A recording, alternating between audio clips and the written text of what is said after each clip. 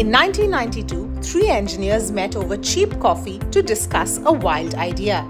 And now, three decades later, the company they started is worth almost as much as India's entire economy. Yes, you heard that right.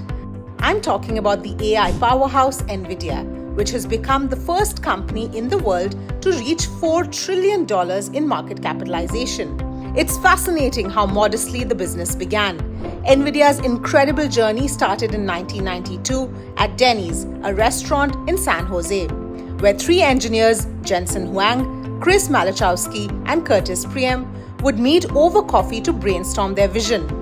They founded the company in 1993 with just $600 in startup capital. Their mission?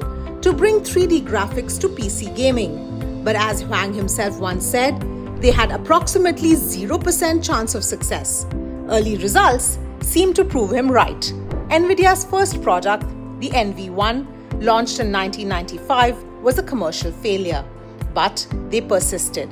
In 1999, NVIDIA launched the GeForce 256, marketed as the world's first graphics processing unit or GPU. This chip didn't just change gaming, it laid the groundwork for future breakthroughs from powering Xbox consoles to enabling parallel computing. NVIDIA's GPUs quickly evolved beyond their original purpose.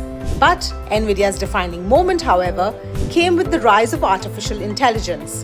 When OpenAI needed hardware to train ChatGPT, it turned to NVIDIA's chips. In fact, back in 2016, Jensen Huang personally hand delivered a server designed for AI to Elon Musk and Sam Altman, the founders of OpenAI. That early bet on AI aged remarkably well. By 2023, when ChatGPT took the world by storm, attention shifted to the brains behind AI, NVIDIA's chips. Today, according to various estimates, NVIDIA commands between 80 and 95% of the AI chip market. The AI boom also sparked an extraordinary rally in NVIDIA stock.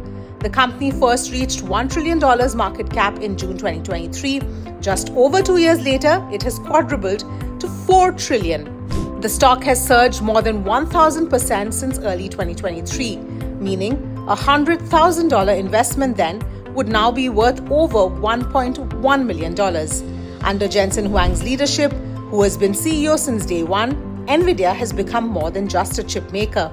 It's the infrastructure of the AI age. As companies pour trillions into AI development, NVIDIA's chips remain the gold standard, from a $600 startup to a $4 trillion titan.